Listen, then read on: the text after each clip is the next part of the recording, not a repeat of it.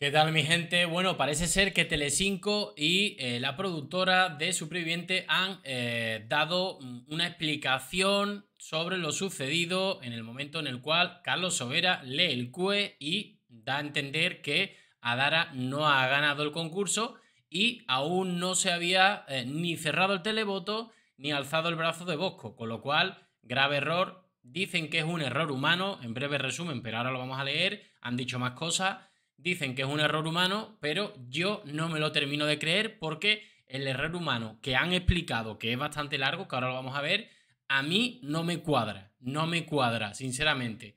En fin, vamos a ver de qué se trata. Y bueno, Perte le dice, Telecinco y Superviviente 2023 aclaran el comentado error de Carlos Sobera con Adara en la final del reality. María Zambrano, directora del reality dating de Mediaset, muestra a Bertele los guiones de la última gala del reality de Telecinco y aclara el error humano que ha generado polémica entre los espectadores.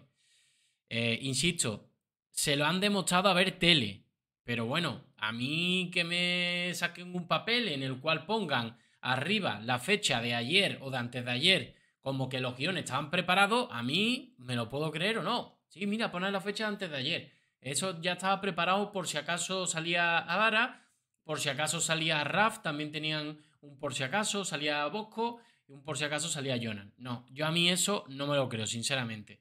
Las cosas como son. A mí ya estoy de vuelta en estas cosas. Telecinco celebró este jueves 29 de junio la gran final de Superviviente 2023 que culminó con la victoria de Bosco tras su beso con Adara en una noche amarga para Raf que no estuvo exenta de polémica. Y es que unas palabras lanzadas por Carlos Sobera durante la gala han generado en las últimas horas una gran controversia poniendo ante la de juicio la transparencia del programa de Mediaset y bueno, son brutales los comentarios que estoy recibiendo eh, en, los vídeos en cuestión, ¿no? Todo ocurrió minutos antes de que el presentador cerrase las votaciones y desvelase el nombre del ganador de la edición en los compases finales de la velada. Tras las eliminaciones de Rafi y Jonan, Carlos Sobera se dispuso a anunciar la entrada en plató a los dos últimos superfinalistas. Tras presentar a Bosco, el vasco dio paso a Dara recordando los eh, hitos de su aventura en Honduras y pronunciando una última frase que hizo que saltaran las alarmas entre los espectadores, que fue lo que nos dijo, oye, acaba de decir, acaba de decir que no ha ganado, pero bueno, en fin. Entró como reina de los reality, cito palabras textuales, que dijo y que leyó en el QE Carlos Sobera y sale como una superviviente de campeonato.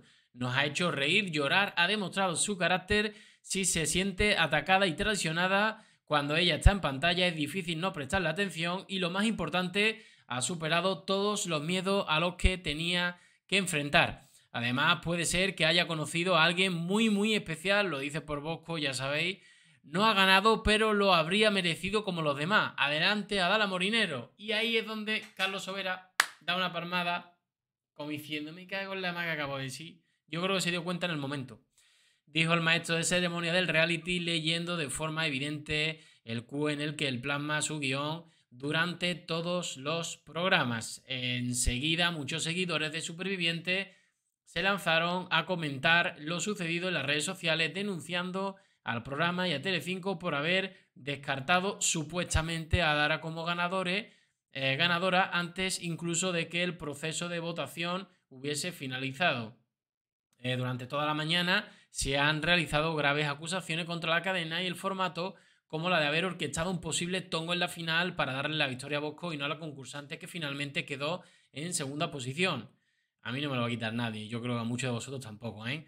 Telecinco y Superviviente aclaran el error humano. Apenas unas horas después de la gran final de Superviviente, Mediaset y la dirección del reality han querido hacer un ejercicio de transparencia ante la prensa, aclarando el error humano que ha generado tanta confusión entre la audiencia y mostrando los guiones que se utilizaron durante la última gala del programa.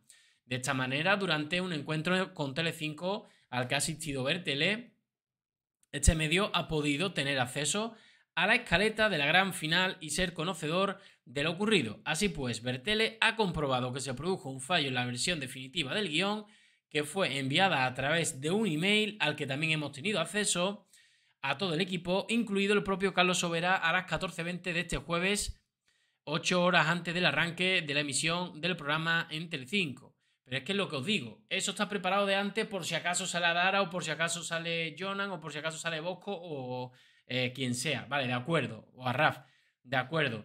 Pero yo ahora mismo puedo imprimir un papel en el que arriba en la escaleta, en vez de poner 30 de junio, eh, le pongo 26 o 28 o 27 a las 3 de la tarde y ya nos tenemos que creer que era previo, ¿no? En fin, como que eran muchas horas previas, me refiero. Porque era como, mm, por si acaso esta noche sale mm, Adara, pues tenemos preparado el QE de Adara. Si sale, en fin. A mí, yo no me lo termino de creer, pero bueno, vamos a leer exactamente qué es lo que ha sucedido, ¿vale? De cara a la misma, ante el desconocimiento de la eh, decisión del público en las tres votaciones que se iban a producir, el equipo de guion preparó varias versiones del texto de las presentaciones de Carlos Sobera e iría haciendo para dar entrada en plató a los cuatro finalistas. Para Raf, Bosco y Jonan se vieron plasmadas dos opciones. Una eh, por si caían eliminados y otra por si lograban llegar a ese preciado duelo final. El error en el caso de Adara se produjo al copiar y pegar la misma versión del texto para todas sus supuestas eh, posiciones en la final, en la que solo aparecía reflejada la opción de una eliminación prematura en la gala. Es decir, que qué casualidad que eh, de Adara tenían puesto en el QE justo lo que iba a suceder. Aquí es donde ha estado el tema. Aquí es donde ha estado el tema. que precisamente lo que dijo Carlos Sobera es lo que pasó. Aquí es donde está el problema. Y ahora tenemos que confiar en que eh, le han enseñado unos documentos a Bertele, que yo me imagino que Bertele cuando está diciendo esto es verdad y tal y cual, pero a mí nadie me dice, oye, está compulsado, está sellado por un notario que era a las 3 de la tarde, a que no, pues entonces ese documento te lo hago yo ahora en 5 minutos, en menos. Es a lo que voy, ¿no? Es verdad, eh, no es verdad nada de lo que te está contando y para nosotros es importante el prestigio y la imagen de esta casa, evidentemente. Espero que sea así, espero que sea así. Ha expresado con preocupación Sandra Fernández, directora de comunicación de Mediaset. María Zambrano, directora de Reality Dating de Mediaset, por su parte ha lamentado el error humano por el que se ha generado eh, esta polémica. Jamás haríamos una entradilla diciendo quién gana o pierde. Asegurado, lamentablemente ha sido un error humano ha insistido. Eh, sentimos muchísimo haber creado tanta confusión. Es un guion que tiene Mediaset, el equipo eh, de Bulldog, y es fácil comprobar que esto es 100% verídico viendo la hora del mail. Pero es que la hora del mail, yo no sé si eso... Es decir, yo, yo puedo retocar un mail y hacerlo como si, si fuera de... A no ser que te lo enseñe in situ en el momento, o sea, te abro el mail y lo ves, ¿no? Y verte lo haya visto así, in situ, en persona, pero para un documento impreso, eso se puede modificar, ¿no? Que insisto, yo, yo intento, intento creerme esta, esta versión y ojalá sea cierta que, de que sea un error humano. Pero me permitiréis también, Bulldog, que yo ahora mm, me tome mis dudas, ¿no?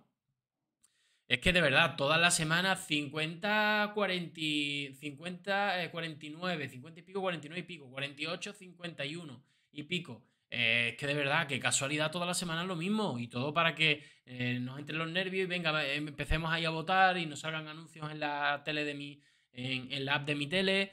Eh, es que de verdad, no hay ninguna semana que te haya un 70-30. Qué casualidad que esté tan repartido. Joder, macho, es que realmente enfurece a cualquiera, ¿no? Bueno, Zambrano ha explicado además por qué no lo aclararon durante la emisión de la gala. No hubo mucho margen de reacción y creímos que era mejor explicarlo bien al día siguiente para preparar la prueba de otra manera, ¿no? Una final es una cosa muy grande, había mucho público, gente de por detrás, era muy difícil hacernos entender en un momento de tantos nervios. Por eso decidimos que lo mejor era esperar a hoy, explicarlo bien con el guion en la mano. Me imagino que en el debate lo explicarán a primera hora eh, y bueno, quedará claro para el que quiera quedarlo claro, ¿no? Decidimos que los finalistas vivieran la gala como se merecían y no hay problema, no hay nada que ocultar. Priorizamos que el espectador disfrutara de su gala, que los concursantes también lo hicieran tras una edición tan dura y decir lo que tenemos que contar lo contaremos. Ha expresado la directiva que afirma no haber recibido queja por parte de los participantes implicados. Mediaset ha avanzado que esta explicación será igualmente trasladada a todos los concursantes y a los espectadores durante el debate final, como decía, ¿no? Presentado por Ion Aramendi que emitirá el Telecinco este mismo domingo, ¿vale? Pues estar muy pendiente del canal, suscribiros porque el domingo tenemos más aleillo seguramente, así que nada, mi gente, espero que mm, me dejéis vuestros comentarios, oye, y me digáis si vosotros lo creéis, no lo creéis, yo respeto las decisiones, eh, yo simplemente digo que me cuesta creerlo, me cuesta creerlo por lo que llevamos de, todo el año, de qué casualidad, desde aquí, de allí, en fin. Pero bueno, eh, me, gustaría, me gustaría eso, que dejaseis vuestras impresiones. Nos vemos en el siguiente vídeo. Un saludo.